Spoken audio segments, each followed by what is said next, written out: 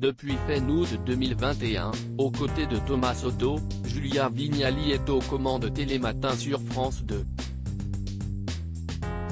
Alors que le sujet évoqué en plateau était la ménopause, la compagne de Kad Merad posait les questions des téléspectatrices.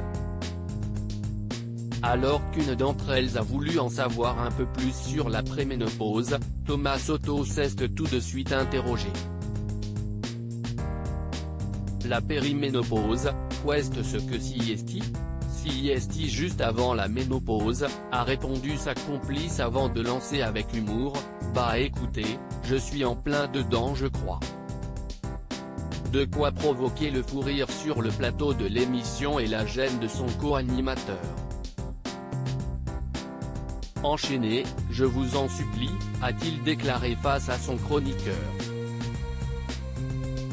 À 46 ans, Julia Vignali se doute qu'elle pourrait très vite arriver à l'âge de la ménopause alors qu'à cet âge, de nombreuses femmes sont déjà ménopausées. Elle pourra compter sur le soutien de l'homme qui partage sa vie, le comédien Kad Merad, pour aborder cette nouvelle étape dans sa vie de femme. Si est-il le 17 février 2014 que les tourtereaux se sont rencontrés pour la première fois? À cette époque, l'animatrice avait remplacé Anne-Sophie Lapix à la tête de C'est à sur France 5.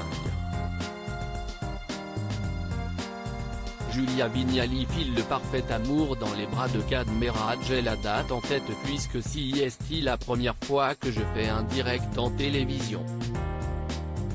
J'anime C'est à parce qu'à l'époque, Anne-Sophie Lapix prend des vacances je l'ai remplacé exceptionnellement. Et ce jour-là, mes invités sont Alice Paul, Danny Bounekad Merad, a-t-elle raconté dans Vivement Dimanche, le 17 octobre 2021. Si est-il la première fois, effectivement, que j'ai rencontré Kad. En direct. Ça, ça ne s'oublie pas, a-t-elle encore déclaré des étoiles plein les yeux et le cœur.